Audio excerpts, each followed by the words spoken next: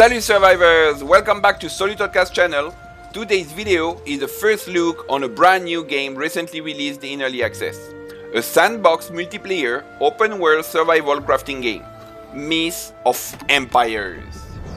Myth of Empires is released by the developer Angela Games who has so far released only one game previously, in January 2021, a MOBA game named Iron Conflict. So few games yet developed under this firm.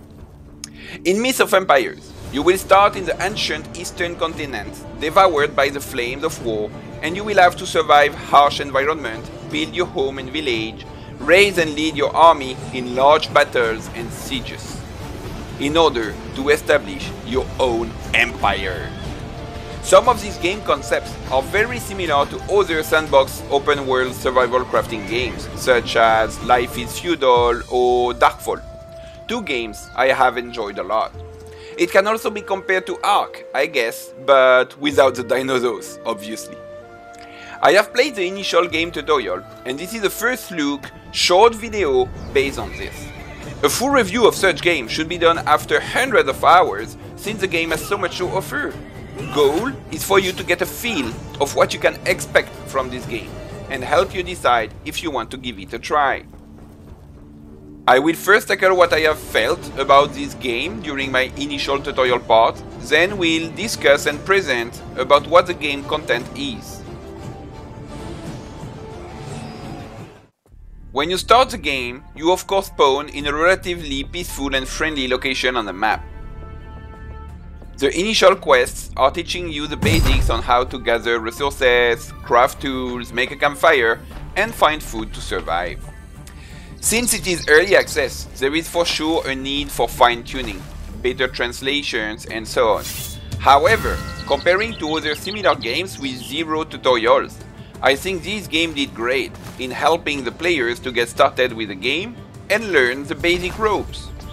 Also to be noted is that you have a newbie help system, so when you die you will reappear on your dead body and be able to loot all your stuff back. Quite useful when you're learning.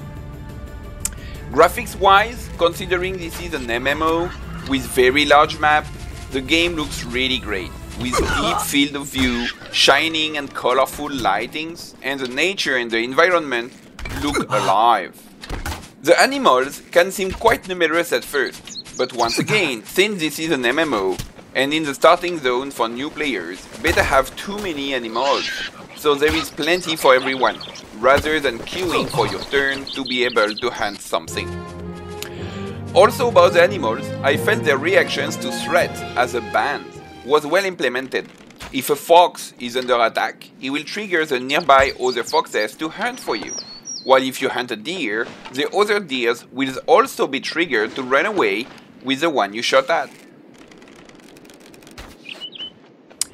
The crafting and the recipes is not super obvious at first, but once you got it, the system is simple and has different categories for all the usual types of crafting, from armor to weapons, medicine to food, building construction, and so on and so forth. The combat animation, up to this point, I tried the spear, the bow, and the throwing stones and they were all quite alright, very similar to the Mount & Blade Bannerlord combat system. The user interface can be looking a bit old school to some extent, and we should hope the developers will improve it during the early access period. Beyond this initial feeling during the tutorial, we can see despite just being in early access for two days, the game already seemed to have a lot of content. In this game, you will build hamlets, cities, develop your relationships with diplomacy to grow into an empire. Therefore, a large part of the game is focused on developing a good construction gameplay as well as a solid economic loop. Since everything can be crafted and everything has durability, it would appear at first that the economic side of things has a robust foundation coupled to having already in place farming and animals breeding mechanics. Construction-wise, the game has already a lot of possibilities to offer, which makes sense since the players are expected to build entire cities with ramparts.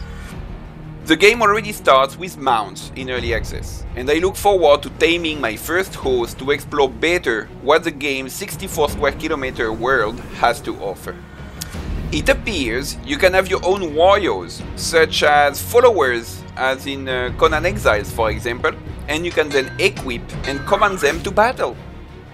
So far, at the beginning of the game, it seems the grind is very reasonable.